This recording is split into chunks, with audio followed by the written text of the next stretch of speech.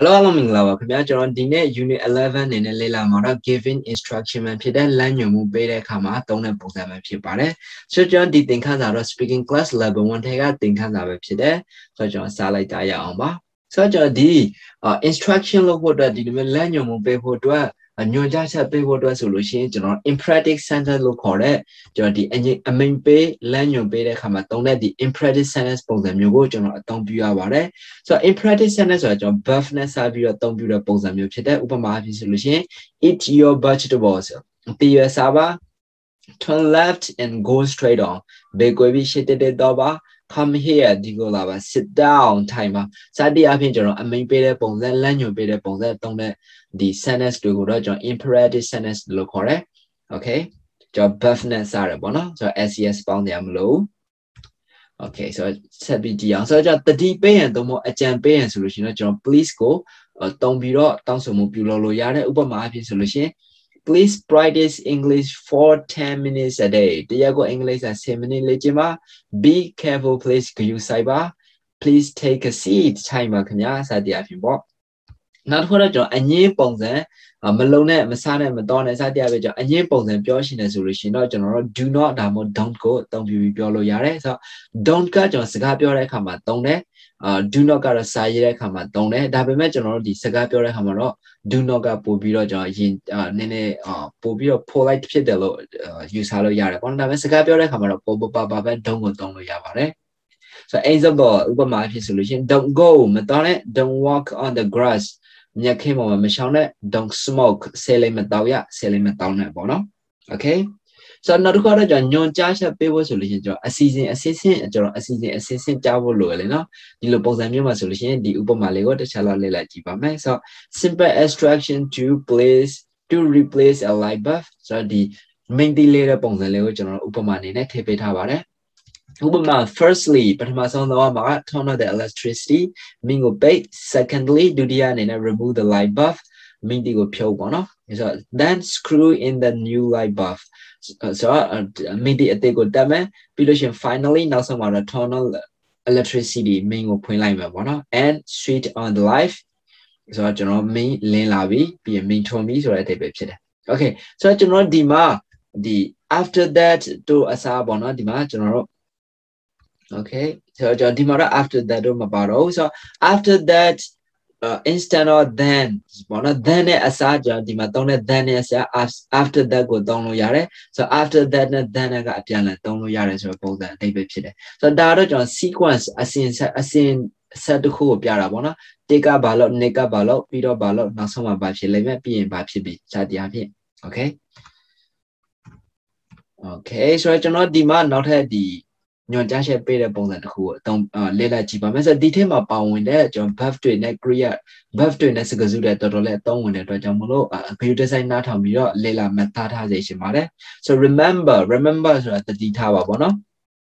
turn on the electricity before touching any touching any cables အကျိုးများကိုမကင်မိလျှက်စစ်မင်းကိုပိတ်ထားမယ်ပိတ်ထားဖို့တတိထားပါပေါ့နော် remember so be careful not to မလုပ်စေဖို့တတိထားပါ ဘာတွေမလုပ်ဖို့လဲဆိုလို့ရှိရင် touch any live wire ဆိုတော့ကျွန်တော်ဒီ elastic signal wire တွေကိုမကင်မိဖို့မထိမိဖို့တတိထားပါ try to ဆိုတာစူးစမ်းပါ see if the live bus is broken or loose တော့ချောင်းနေတာလားဒီ lesson mini ကကျိုးနေတာလားဆိုတာကိုကြည့်ပေါ့နော် okay trying to see မြင်အောင်ကြည့်ပါစ조사ပြီးကြည့်ပါဆိုတော့အတိပဲနောက်တစ်ခု you need to ခင်ဗျားလုပ်ဖို့လိုအပ်တယ်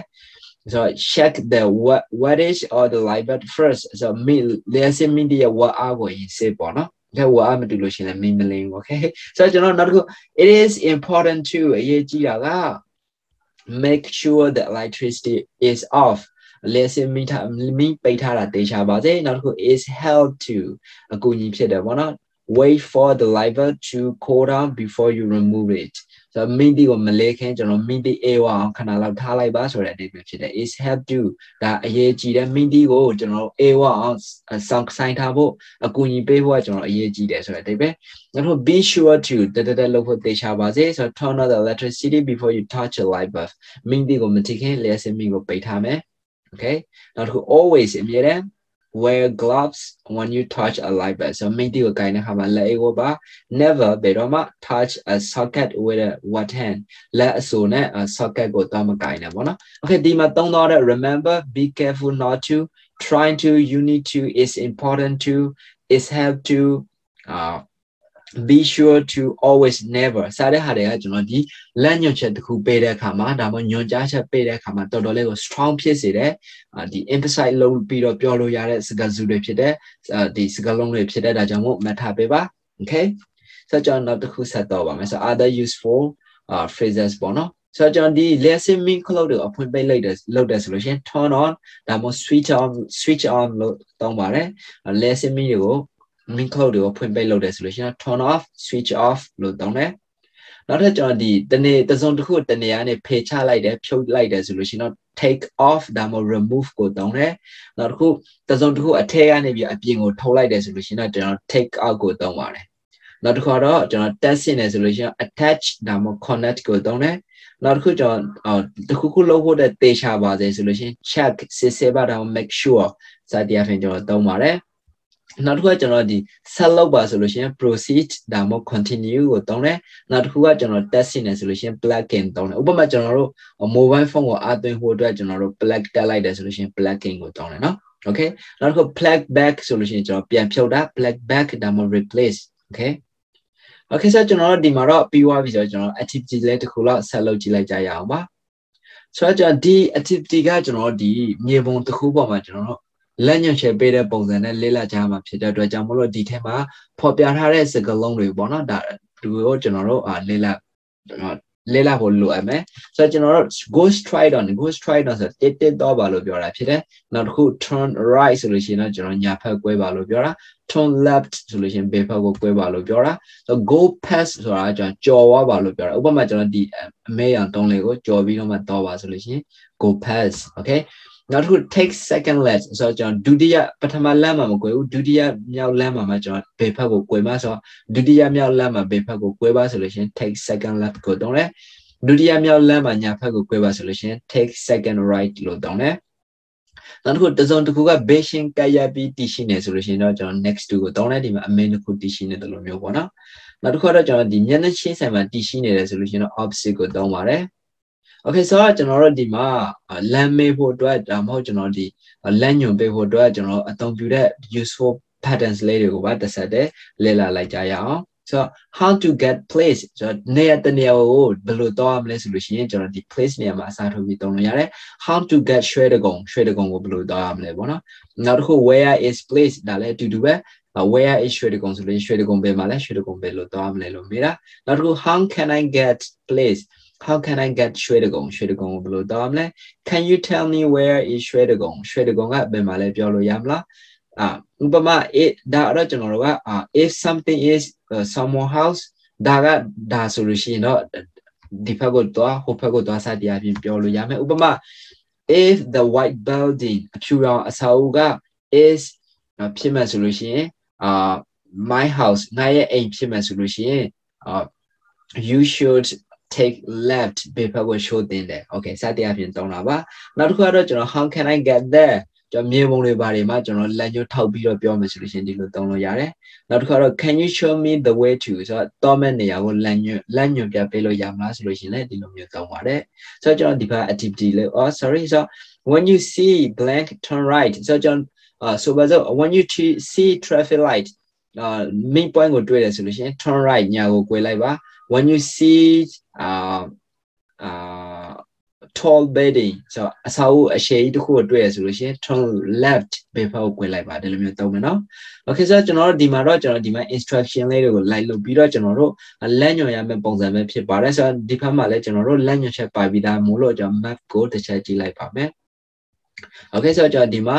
လက်ညွှန်တဲ့အခါမှာအသုံးပြုတဲ့ phrases လေးတွေကိုတစ်ခါတည်းထည့်ထားပေးပါတယ်ဆိုတော့ကျွန်တော်ဒီမှာလက်ညွှန်ချက်ပါပါမယ် okay ဆိုတော့ကျွန်တော်သူကဘယ်လိုလက်ညွှန်ပေးထားလဲဆိုလို့ရှိရင် start at the store ဆိုတော့ကျွန်တော်ခြေပွင့်ကနေစပါဘာလို့လဲဆိုတော့ကျွန်တော်ခြေပွင့်ကဒီမှာဖြစ်တဲ့ဆိုတော့ဒီခြေပွင့်ကနေစမှာဆိုတော့